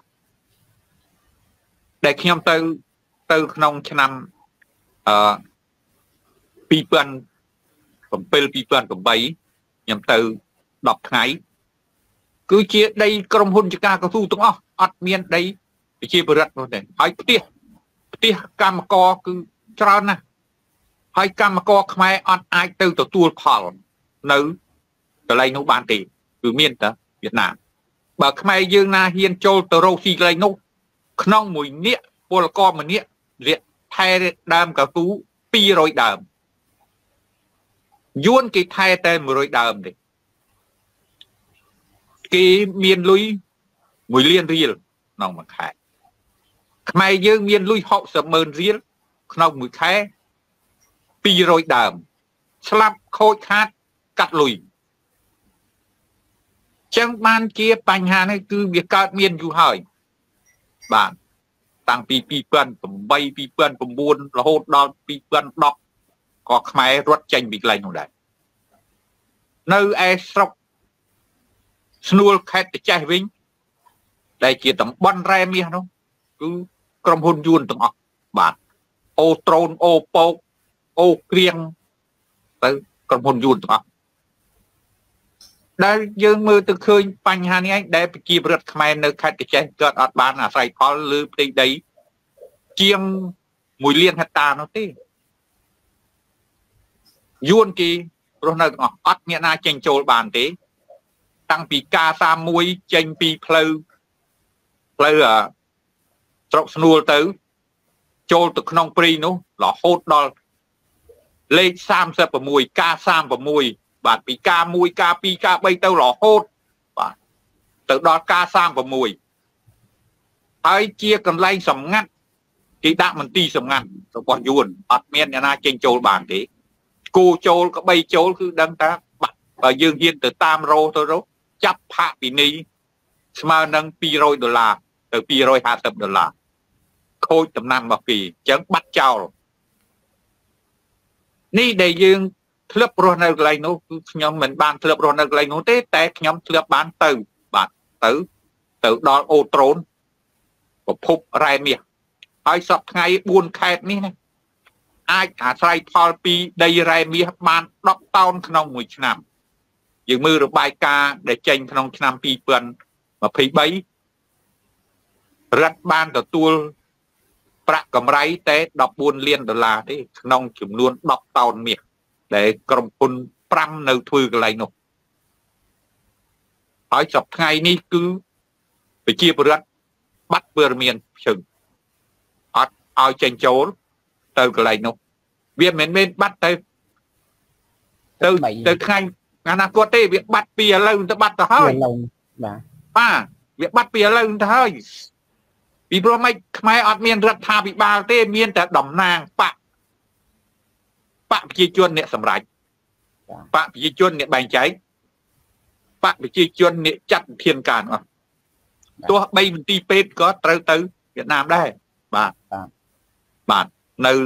ព្រំបន្ទាល់ស្នួលចឹងបានយើងលើស្រុកកែសីមាឲ្យគឺទៅពាក្យពឹងយួនទាំងអស់ចឹងដូចប្រិមិត្តក៏ដូចជាវាគ្មិនទាំងពីររូបបានស្ដាប់នៅ ប្រសាសន៍របស់លោកបណ្ឌិតកែមលីហើយបាទជំវិញកាលពីពេលនោះគឺដីសម្បទានសេដ្ឋកិច្ចដែលកម្ពុជាយើងសម្បទានទៅឲ្យយួន99ឆ្នាំប៉ុន្តែឥឡូវនេះដីតំបន់នោះមិនមែនទៅជាដីសម្បទានសេដ្ឋកិច្ចទៀតទេ គឺជាដី គេហៅថាសហប្រតិបត្តិការរួមគ្នារវាងកម្ពុជាឡាវនិងវៀតណាមហើយការដែលដល់សិទ្ធឲ្យយួនជាអ្នកគ្រប់គ្រងលើទឹកដី4ខេត្តនោះកម្ពុជាយើងបាត់បង់ទាំងស្រុងតែម្ដងពីឥឡូវនេះទៅមិនមែនបាត់បង់បន្តិចម្ដងបន្តិចម្ដងទេគឺបាត់បង់ពីឥឡូវទៅហើយយើងមើលឃើញថាតើការបាត់បង់នេះជាអាចថាជាចេតនាមួយឬក៏បើពាក្យខ្មែរយើងថាអ្នកដែលធ្វើឲ្យបាត់បង់យើងអាចថាជាជនក្បត់ជាតិដែរឬទេសូមលោកពូពុទ្ធវណ្ណរិនបាទសូម មានមានចម្លើយបាទបាទចំពោះខ្ញុំខ្ញុំថាការណាប៉ះពាល់បូរណភាពទឹកដីប៉ះពាល់ប្រយោជន៍រួមប៉ះពាល់អឺសម្បត្តិរបស់រដ្ឋារបស់រដ្ឋអានឹងគេហៅថាក្បត់ទៀតហើយនឹងថាក្បត់ទៀតហើយបងបងក្បត់ទៀតហើយហើយខ្ញុំចាប់ អារម្មណ៍នឹងសម្ដីលោកកែមលីនិយាយពីជនជាតិដើមនេះខ្ញុំចង់បន្ថែមបន្តិចអាឡើយឡើយហួរថារឿងជនជាតិដើមដែលគាត់ការពារបូរណភាពទឹកដីជើងការពារទល់ដែនរវាងកម្ពុជានិងវៀតណាមហ្នឹងរឿងហ្នឹងកាលប្រហែលជាប្រហែលឆ្នាំមុនលោកហ៊ុនសែនចោតលោកសំរងស៊ីថាជនក្បត់ជាតិណាលោកសំរងស៊ីបានអាអា ចុះកិច្ចសន្យាឬមួយគាត់និយាយតែពីគ្រោះនិយាយជាមួយនឹងអាប្រធានអ្នកជនជាតិដើមនៅសហរដ្ឋអាមេរិកហ្នឹងគាត់ជាយើងអាចថាជាអ្នកគ្រប់គ្រងជនជាតិដើមចុះណាយើងគាត់បាននិយាយជាមួយជនជាតិដើមគាត់ឲ្យឲ្យអធិបតេយ្យភាពទៅលើជនជាតិដើមក្នុងការគ្រប់គ្រងដីក្នុងការគ្រប់គ្រង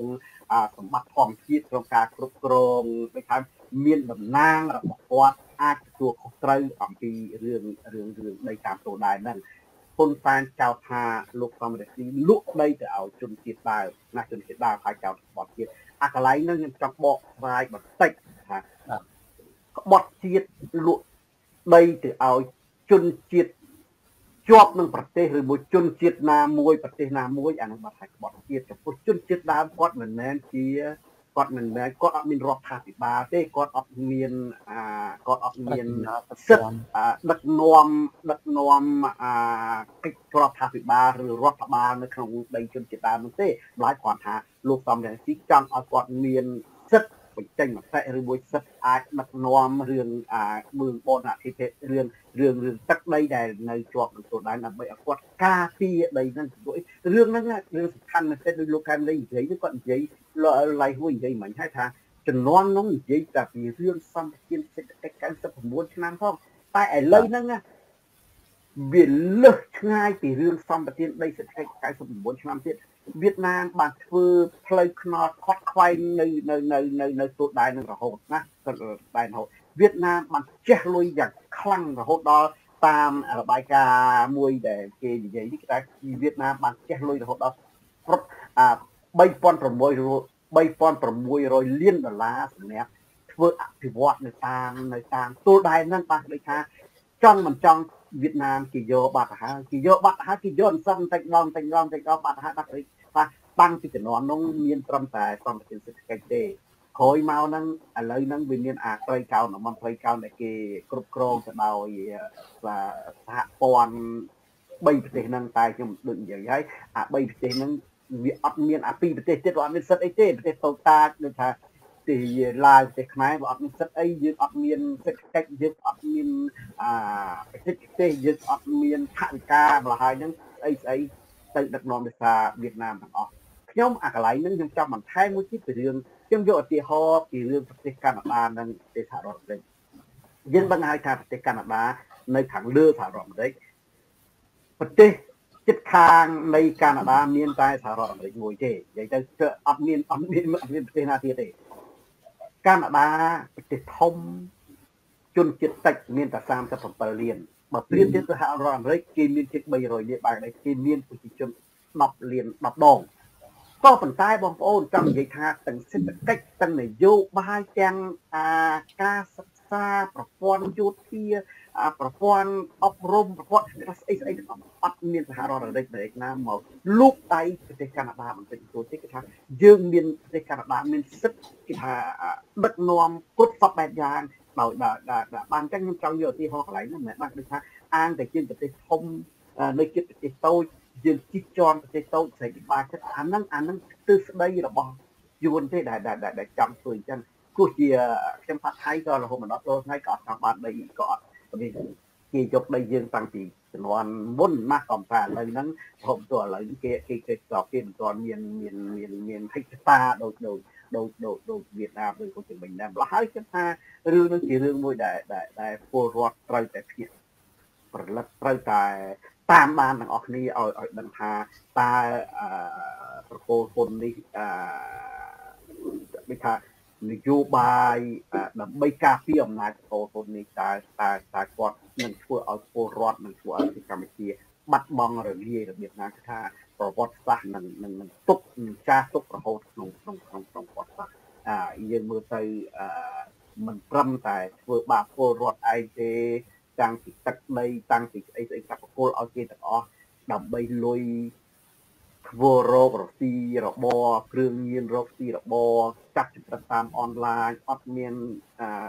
ទេសចរចូលប្រទេសចោតថាចេះចោតថាចុះខ្ញុំមើលទៅពួកអស់នេះវាកុហកវាភូតផរពលរដ្ឋតែគ្មានពលរដ្ឋណាជឿទេបើពលរដ្ឋចៃហើយខ្ញុំថាបើបន្តឲ្យឲ្យឲ្យឲ្យឲ្យប្រកូលហ៊ុនដឹកនាំរបៀបភូតផរកុហករបៀបបោកប្រាស់ពលរដ្ឋអត់ឈប់ឈរនេះខ្ញុំថា ប្រទេសកម្ពុជាលាយឆាប់មិនមិនមិនចាំដល់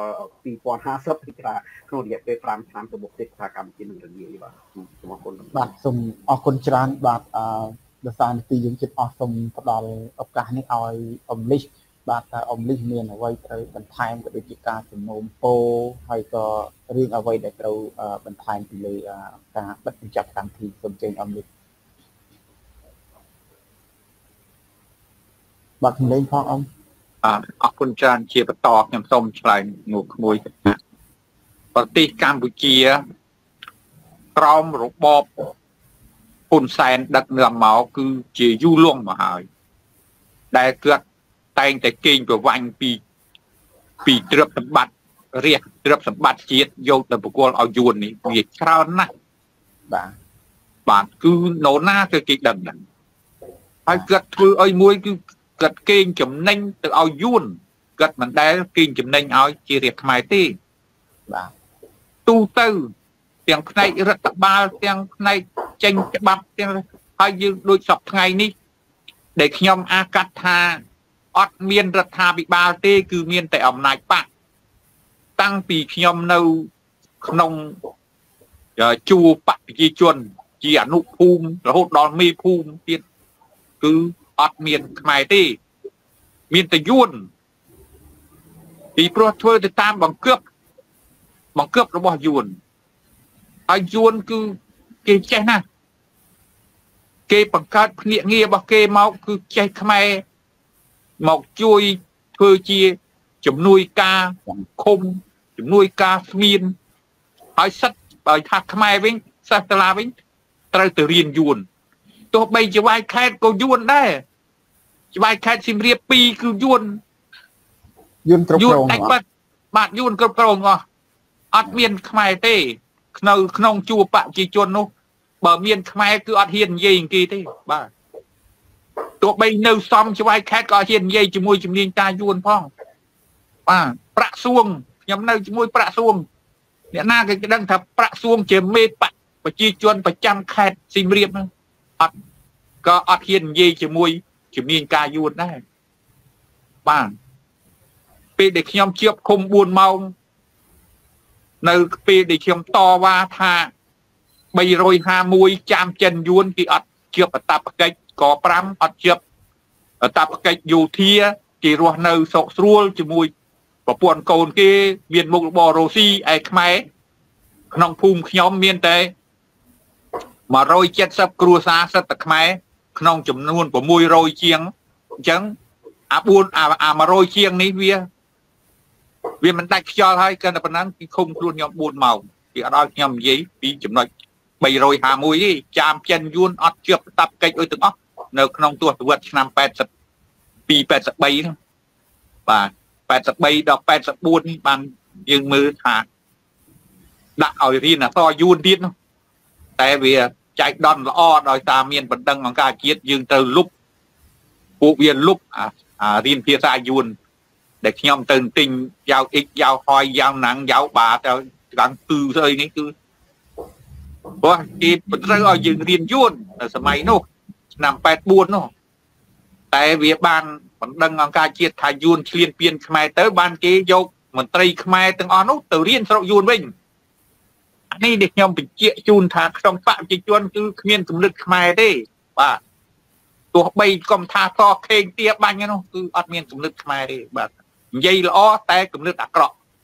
យោបល់ល្អតែគំនិតអាក្រក់ទស្សនៈល្អចំណាប់ហើយប៉ុន្តែគំនិតប្រកបពីក្រោយគឺអាក្រក់ជួជាតិបំផុតនៅក្នុងជួរបកប្រជាជនទាំងអស់នោះគឺគ្មានគ្មានមនុស្សខ្មែរទេបាទសញ្ជាតិជាខ្មែរតែគំនិតយួនអស់ ហើយធ្វើអីក៏ដោយដាក់តាមដានភូមិឃុំបង្កើតក្រុមបកក្រុមពួកដាក់ប្រជាប្រដ្ឋណាឲ្យទៅឯកោប្រជាប្រដ្ឋក្នុងគំនុះក្រហមណាដែលត្រូវកំតិចត្រូវកំចាត់គឺមានទាំងអស់បាទនេះដែលខ្ញុំនៅធ្វើការជាមួយអញ្ចឹងគឺគ្មានខ្មែរទេរហូតដល់សប្តាហ៍ខ្ញុំថាអត់មានរដ្ឋាភិបាលទេ គឺមានតែបកកុម្មុយនីសយួនបាទនៅបង្កប់នៅបង្កើបនៅបង្កើតនៅ ធ្វើអីអីសកម្មភាពទាំងអស់គឺរហូតដល់យួនគេមានសិទ្ធិសពបែបយ៉ាងនៅលើទឹកដីខ្មែរគ្រាន់តែប្រធានសមាគមមួយគេអាចកាន់មុខរបរបាន4 5សាខារបស់គេគេតែខ្មែរខ្លួនយើងទេអត់ដឹងខ្យល់អីសោះបាទដឹងតាធ្វើម៉េចតែគេឲ្យណោយគឺសบายចិត្តគេទៅបាទរហូតដល់ថាទៅជឿពួកអាអាអត់ស្បែកជើងពាកទៀងណាំជិមម៉ាគេ ត្រាតងឡានតងឡានដឹកចែកគ្នាផឹកជ្រៀងរឹមសបាយក្រេវក្រោតទៅជឿសម្ដីពួកអត់នោះនេះចឹងបានថាបទពិសោធន៍នោះវាច្រើនណាស់ហើយគឺខ្មែរគ្មានគំនិតអ្វីទេសប្ថ្ងៃម្នាក់ម្នាក់អង្គុយចាំបានក្រៃក្រទោះបីគេបោកលុយអស់រឹបលៀនហើយក៏អត់ហ៊ាននិយាយដែរក្នុងគ្រួសារនីមួយនីមួយហើយសិតតែជាបណ្ដាញបាក់ត្រុកបាក់ឃុំដែលគេបោកមកហឺនេះគឺសិតតែ បណ្ដាញធំធំរបស់បកប្រជាជនបកប្រឆាំងយើងគ្មានលុយទៅវិនិយោគគេទេបាទចឹងមានតែពួកគេណែឯងហើយគេបោកគ្នាគេហើយអត់ហ៊ាននិយាយទៀតទៅបីទៅក្នុងគ្រួសារខ្ញុំគឺអត់ហ៊ាននិយាយនិយាយទៅខ្លាចគ្រោះថ្នាក់និយាយទៅខ្លាចគេអត់សងអញ្ចឹងទុកចាំពេលណាគេសងដោះស្រាយបាក់គេនេះដោះស្រាយបាទអត់មានប្រពន្ធតឡាការនេះដោះស្រាយទេអញ្ចឹងយើងវាបាត់បង់យូរហើយតែគេហៅថាត្រី ត្រីដែលអាំងឆ្អិនតណាគេស៊ីតំណោះមុនបាទឆ្អិនក្បាលពីក្បាលឆ្អិនកតុយគេស៊ីកតុយផែនការយួនគេគិតចឹងហើយអាណាត្រូវកំតិចអាណាត្រូវកំចាត់អាណាត្រូវសម្លាប់អាណាត្រូវទុកប្រើគឺគេរៀបចំរួចអស់ហើយបាទខ្ញុំខ្ញុំសូមឲ្យបងប្អូនកូនខ្មែរភ្ញាក់រលឹកទៅបើមិនភ្ញាក់រលឹកទេប្រទេសជាតិវាមិនខុសអំពីកម្ពុជាក្រោមទេបាទវាលើសពីកម្ពុជាក្រោមទៀតនោះ ព្រោះមិនលោកសង្ឃក៏យួនគេអ្នករៀបចំ អាចារ្យដៃជោគេនោះមិនមែនជាអាចារ្យកូនខ្មែរទៅរៀនទេ គឺអាចារ្យដែលគេយកសិស្សសាលាពីសាលារៀនយួនព្រោះនៅខាងខេត្តសៀមរាបខ្ញុំមានសាលារៀនយួននៅឃុំចំគ្នាខំណាបាទគេរៀនខ្មែរយួនគេរៀនខ្មែរអឹមបាទរដ្ឋបាលស្រុកអីឃុំអីហ្នឹងគេគេហៅថា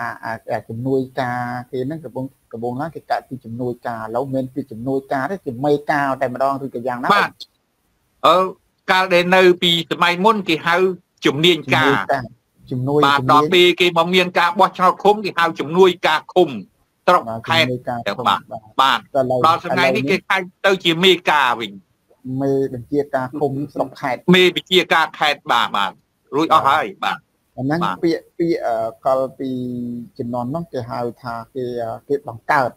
គេបង្កើតហ្នឹងគេបង្កើតជាគេហៅថាជំនាញការភូមិឃុំស្រុកខេត្តហ្នឹងណា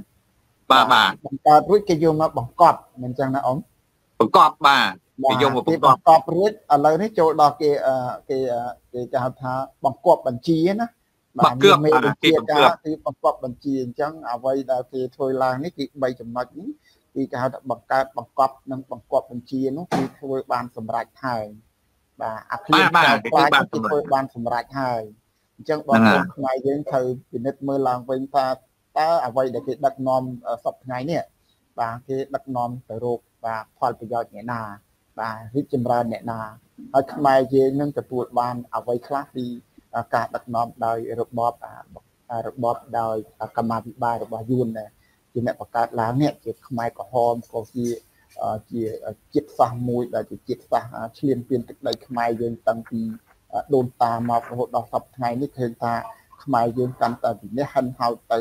មិនថាចំនួនហ៊ុនសែននេះសូម្បីតែចំនួនស្ដេចខ្មែរយើងជ័យចិត្តថាទី2ហ្នឹងក៏រងគ្រោះបាត់បង់នៅទឹកដីជាបន្តបន្តមកដល់ចំនួននេះទៀត ក៏នៅតែរងគ្រោះបាត់ទឹកដីជាបន្តបន្តគឺតាមផែនការបង្កប់បង្កើតបង្កប់និងបង្គាប់នេះហើយបាទការបង្កើតបង្គាប់នេះហើយទៅគឺឲ្យខ្មែរយើងអានេះហាន់ហោចអស់ដល់សប្តាហ៍នេះឥឡូវមិនត្រឹមតែប៉ុណ្ណឹងទេគឺនឹងធ្ងន់ធ្ងរជាងនឹងទៀតគឺបាត់បង់សពគ្រប់បែបយ៉ាងទាំងអស់មិនថាទឹកដីធ្លីផ្ទះសំបែងឬក៏ធនធានធម្មជាតិរបស់ទេដូនតារបស់យើងគឺបាត់បង់សពគ្រប់ទាំងអស់យើងខ្លាចទៅជាមនុស្សមួយដែលថាគ្មានប្រទេសគ្មានសំបែងគ្មាន ទីជំរកគ្មានអ្វីសពគ្រប់បែបយ៉ាងអស់ពីព្រោះរាល់ទ្រព្យសម្បត្តិរបស់យើងដែលនៅលើទឹកដីរបស់ខ្មែរហ្នឹងគឺជារបស់គេទាំងស្រុងតែម្ដងនៅរោងនៅរោងចាំតែថ្ងៃណាដែលគេមកដេញមកដុតមកយកតាមតែអំពើចិត្តចឹងដូចបងប្អូនឃើញស្រាប់ហើយថាមួយរយៈកាលកន្លងមកនេះគឺនៅក្នុងទឹកដីខេត្តរបស់ក្នុងប្រទេសកម្ពុជាយើងឃើញបងប្អូនជាប្រវត្តិមិនថាប្រជាពលរដ្ឋដែលគាត់រស់នៅលើទឹកដីរបស់គាត់តាំងពីជីដូនជីតាមកក៏គេនៅតែដេញដុត បាទដេញដុតយកផ្ទះយកដីសម្បែងរបស់បងប្អូនធ្វើជាផលប្រយោជន៍របស់ពួកគេដែរបាទសូមអមមានអីអ្វីទៀតដែលត្រូវត្រូវបន្តអាហើយអឺមួយទៀតគេថាកផែនការក5គឺអត់បានបញ្ចប់ទេ គឺនៅតែបន្ត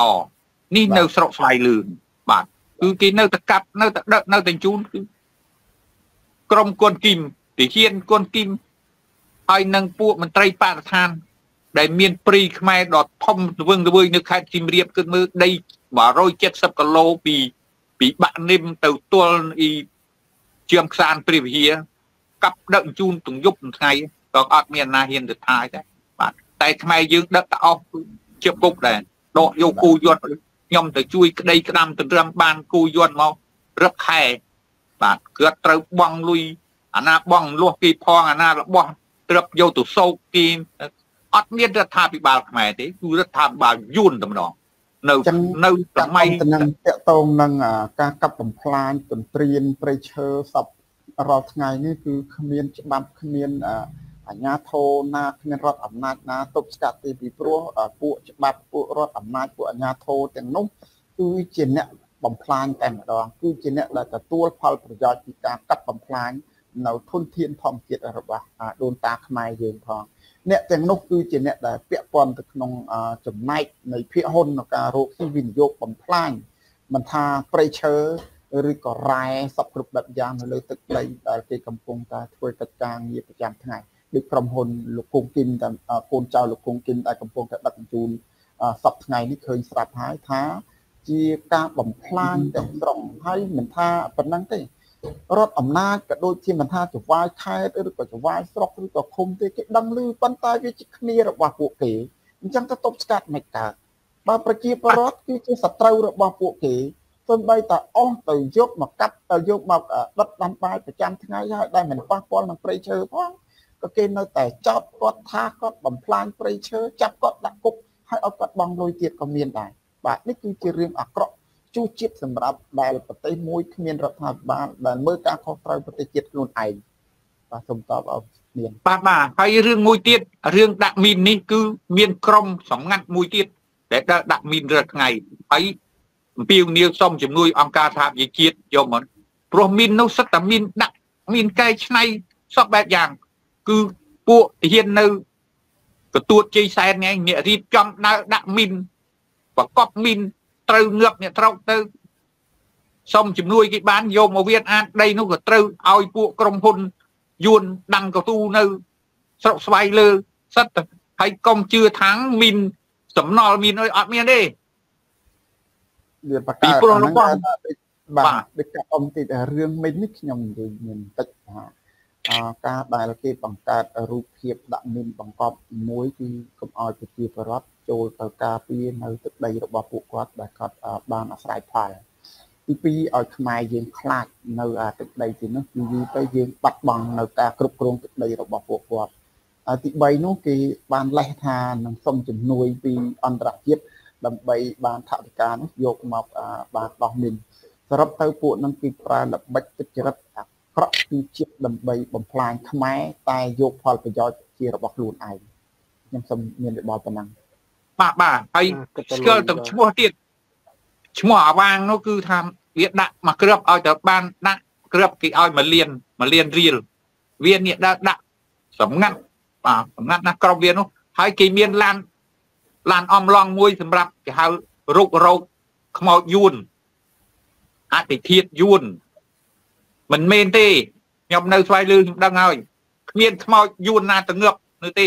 សត្វតាវាពោះច្រកអំបិលច្រកស្ករ ដឹកទៅស្រុកយួនហើយគ្មានខ្មោចយួនណាមកកប់ពេញវាលនោះទៀតទេអានេះជាលេសរបស់ពួកវាបាទលេសរបស់វានេះគឺច្រើនណាស់ហើយកងទ័ពភូមិភាគ4គឺជាមនុស្សរបស់យួនទៅបីតាំងប្រព័ន្ធកូនវាក៏សិតច្រើនតែយួនបាទឲ្យទៅមើលផ្ទះនៅមកជួបអូអកុផ្ទះពលកស្តាត់តែទាហានយួនទាំងអស់យើងចេញចូលអត់បានបាទអញ្ចឹងបានថា ពីផ្លៃលឺទៅទៅពីងប្រាសាទយើងទៅមើលបាទបោះស្រីដឹកគ្មានខ្មែរទេបាទកាប់ឈើកាប់ព្រីយកដីលក់តាមអំពើចិត្តកងទើបអូថាវាស្ត្រីណាដែលយើងរស់នៅខ្ញុំអ្នកជនបទរស់នៅវាមានការជឿចាប់ណារហូតដល់ខ្ញុំថាយើងគ្មានរដ្ឋាភិបាលទេហើយដូចជុងជុងងីនេះកាន់បណ្ដឹងខ្ញុំរាប់រយរហូតដល់ថា នៃមេធាវីមិនដែលឈ្នះក្តីបាទមេធាវីដែលច្រើនចាញ់ដែលភាកច្រើនគឺចាញ់ក្តីអត់ដែលឈ្នះក្តីទេកាន់10000រឿងគឺចាញ់ទៅ10000រឿង គាត់ជាឯកតកម្មបាទពិភពលោកមួយដែរតែកម្មក្តីមិនដែលឈ្នះទេហ្នឹងមិនឯកតកម្មមួយដែរក្នុងប្រទេសកម្ពុជាបាទបាទហើយតែឈ្នះក្តីមិនមិនដែលចាញ់មានហ៊ុនសែនទេសម្រាប់ប្រទេសកម្ពុជាឈ្នះក្តីមិនដែលចាញ់គឺចង់ឲ្យក្តីក្តាំដល់ប្អិនដល់ឋានៈក្តីឲ្យតែក្នុងប្រទេសកម្ពុជាគឺគាត់ឈ្នះក្តីរហូតបាទសុំនិយាយលេងបន្តិចរហូតដល់ខ្ញុំភ្នែកគ្នាខ្ញុំថាជំងឺជុងងីកាន់បណ្ដឹងឲ្យនីចរិយាអាត់ហុកជំងឺឈ្នះក្តីអត់ អត់ឈ្នះទៀតចាញ់ទៀតឯនោះជាប់គុកជាប់តែគាត់បរិហាតឡាការវាបាត់បរិហាតឡាការជាប់គុកបាទហួសចិត្តថាគ្មានគ្មានច្បាប់ទេហើយក៏គ្មានអាជ្ញាធរគ្មានរដ្ឋាភិបាលទេគឺមានតែក្រមបយួនតែម្ដងបាទនៅកាន់កម្ពុជា20 30ឆ្នាំមកនេះគ្មានទេកុំមកភ្នើខ្ញុំថាងតាណាដែលថាមានយុទ្ធវិធីឲ្យខ្មែរត្រង់ណា គាត់តែអាញាធោអប្សរាមួយនេះប្រើពាក្យយូនីស្កូប្រងផលពាក្យណាឲ្យបំផ្លាញវិជារាសរឹបម៉ឺនគ្រួសារហើយយូរយូរទៅអត់មានអាណាទៅស៊ើបអង្កេតអត់មានអាណាទៅរោរឿងប៉ុណ្ណាបាទហើយហ៊ុនសែននោះទៅជួយទៀតបើពេលនេះមិនចេញពេលក្រោយគឺបាទកំឡើយថាលុយមួយរៀលបាទមានតែគុកចាំទទួលកន្រៀមជ័យវិញ អត់មានយកច្បាប់យកទម្លាប់ភូមិបាលបាទមានណាអាក្រក់ជាងជាងចូលហ៊ុនគ្នាណានិយាយបាទបាទបាទដូចជាវាវាខុសហេតុពេកនិយាយទៅអាក្រក់អីអាក្រក់យ៉ាងយ៉ាងនេះអូក្រក់តាមច្បាប់มันมันអាចបំពេញប្រជាពលរដ្ឋចេញពីពីកន្លែងនឹងបានទេប៉ុន្តែដោយសារតែប្រជាពលរដ្ឋគាត់ខ្លាចអាការចាក់ដាក់គុកហ្នឹងហើយទើបគាត់សុខចិត្តធ្វើទីតាំងរបស់គាត់ ទៅកន្លែងដែលគេចង់ឲ្យទៅទៅនៅប៉ុន្តែបើគាត់នៅក្រាញ់អានីលហ្នឹងគាត់គាត់មើលឃើញរូបភាពពួកបរិយាកេឡាបរិយាកេឡាដេញចំណត់ទីនៅចាប់ផងអីផងអញ្ចឹងទៅឥឡូវនេះមិនត្រឹមនេះប្រែរូបភាពដឹងវិញបើប្តឹងតកតងទៅនឹងគេថាជំទាស់ផែនការអភិវឌ្ឍរបស់ពួកគេទៅគប់ទៀតហើយបើឃើញថាបលាការក៏ដូចជាមេធាវីដូចជាស្អីសពគ្រប់បែបយ៉ាងទាំងអស់ហ្នឹងវាជារបស់គេទៅហើយអញ្ចឹងយើងប្តឹងរយុទ្ធធម៌ដល់ដល់ មកកាលណាក៏មិនមានចេញផងដែររឿងហ្នឹងខ្ញុំថាមកពីអត់ស្រុកគ្នាផងអាឡៃគួរមើលទៅម្នាក់ម្នាក់ដូចថាចង់បានតាលុយចង់បានតាសុខសบายខ្លួនគ្រួសារខ្លួនគេឲ្យលុយបន្តិចតួចអឺយកហើយជាពិសេសអាមេមេមួយមួយហ្នឹងការគេទិញបានទៅបាទមេខ្វះស្មោះត្រង់គេហ៊ុនសែនចាប់ទៅវាយទៅដាក់គុកទៅអីទៅមេណាខ្លះដែលមិនស្មោះត្រង់ហ្នឹងគេទិញបាន ថាអត់អត់ជួយគ្នាខ្ញុំថាវាវាយើងបន្ទោសហ៊ុនសែនទៅឲ្យកំតែខ្ញុំថាបន្ទោសខ្មែរយើងដល់ក៏គួរតែបន្ទោសថាដែរគេថាវាអត់ប្រកគ្នាអត់ប្រកគ្នាហើយខាង មិនមែនតែរឿងដីធ្លីសូម្បីតែរឿងនៅក្នុងក្រមហ៊ុនក្នុងក្រមហ៊ុនអីបង្កើតសហជីពថាអីហ្នឹងណាបង្កើតសហចូលសហជីពជីពទៅណាមិនចូលសហជីពហើយទៅនៅពេលដែលសហជីពចេញតវ៉ា យើងគួរណាស់តែប្រុសគ្នាជួយគ្រប់គ្រងគ្នាអត់ទេអត់ខ្ញុំមើលទៅវាវាអញ្ចឹងដែរដល់ពេលពិបាកស្អូនស្អែហត់ចោលស្រុកខ្ញុំមើលទៅវាវានិយាយទៅវាវាវាយើងច្បាស់ហើយវា99.9%វាវាកំហុសអាថ្នាក់ដឹកនាំកំហុសបពុហ៊ុនសែនគ្រួសារតកូលហ៊ុននិងបពុឲ្យក៏ប៉ុន្តែ ទន្ទឹមគ្នានឹងក៏ក៏ពលរដ្ឋខ្ញុំមើលទៅដូចខ្វះការសាមគ្គីច្រើនទៅបាទសូមចេញតែប៉ុណ្ណឹងបាទបាទត្រឹមត្រូវណាស់អូតាមខ្ញុំធ្លាប់ធ្វើការទោះបីខ្ញុំផុសឡើងមិនក៏ក៏អត់ក៏អត់ងើបដែរគាត់អង្គុយចាំមកបាទទោះបីខ្ញុំទៅធ្វើបណ្ដឹងជូនគាត់ដល់ផ្ទះស្រាវជ្រាវរោគឯកសារការកាន់កាប់ដីត្រឹមណាអមបានដីនោះដោយរបៀបម៉េចហើយ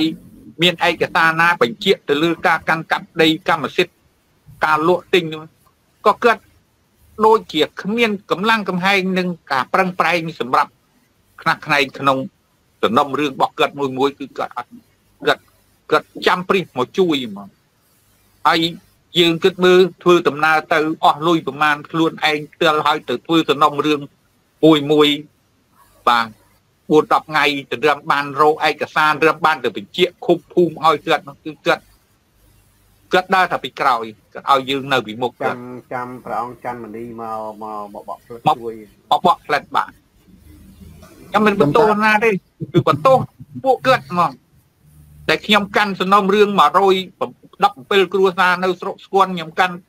90រឿងនៅភូមិនៃតាពេល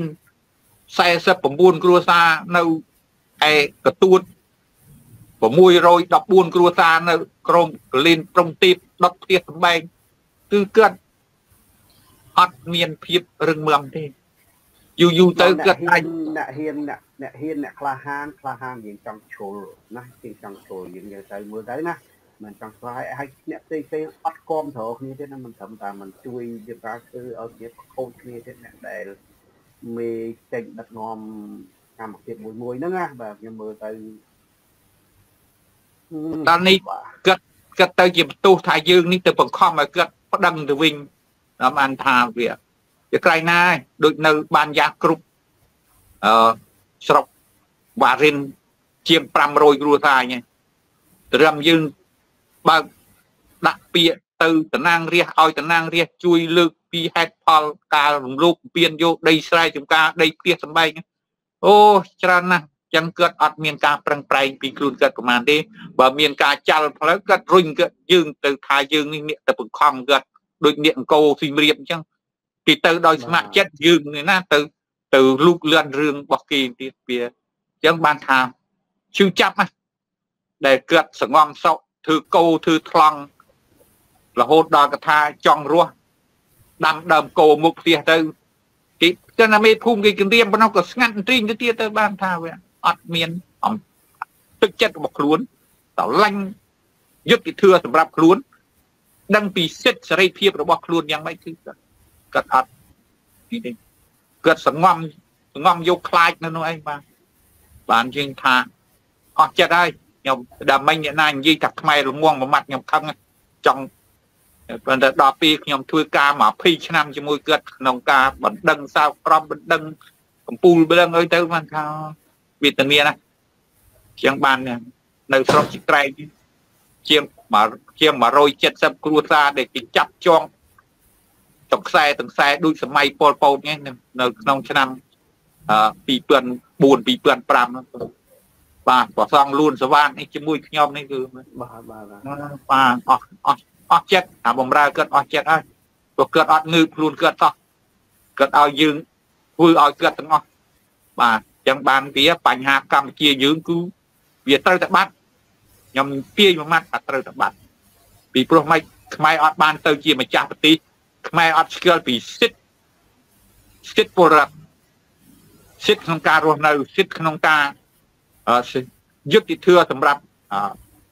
ការរស់នៅរបស់ខ្លួនគឺគាត់អត់ចង់បានទេគាត់ចង់បានតំណោយមកឲ្យទៅគេឲ្យណោយគឺមុជនៅនោះឯងបាទផឹកទី ពូកជ្រាវទៅហើយមានការដៀលថ្មេះយើងទៀតដែលយើងជួយគាត់ដល់បានរបស់មកវិញហើយក៏គាត់